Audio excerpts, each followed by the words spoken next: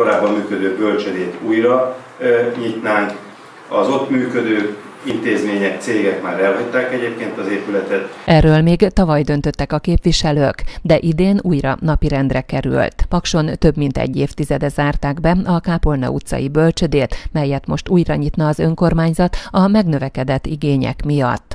Erről már tavaly döntött a képviselőtestület, azóta ki is ürítette az épületet. Azonban akkor nem nyertek rá összeget pályázaton.